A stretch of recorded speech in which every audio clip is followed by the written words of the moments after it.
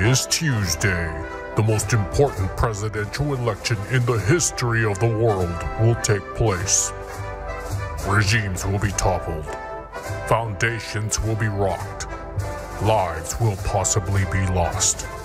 Or at least we hope not. But one question still remains in the hearts of all Americans. Which one of these assholes is gonna legalize weed already? Join the Sun of Man for the underground broadcasts. Election Night Live Wokeathon, streaming this Tuesday at 8 p.m. Central. American time, you dicks. This special broadcast will be completely unbiased. Yeah, non biased, as in fuck Joe Biden. And fuck Brandon, too. Only on YouTube.